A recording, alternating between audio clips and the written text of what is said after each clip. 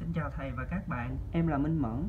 Hôm nay, em xin được phép trả lời và giải thích một câu hỏi trong đề thi tiếng Anh. Câu hỏi ở đây là What is the point where there are no photoreceptors and is considered a blind spot?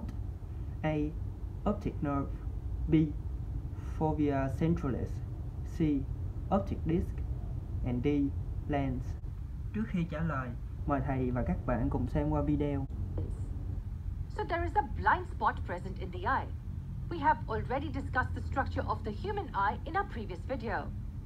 We note that the convex lens present in the eye focuses the light on the retina. And the retina has two types of nerve cells, cones and rods.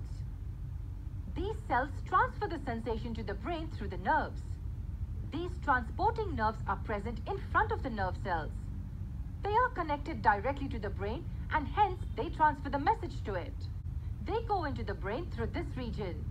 And this region is called the blind spot. The junction of the retina and the optic nerve is called the blind spot. Unlike the rest of the retina, this region does not contain nerve cells and hence no signal is transferred to the brain.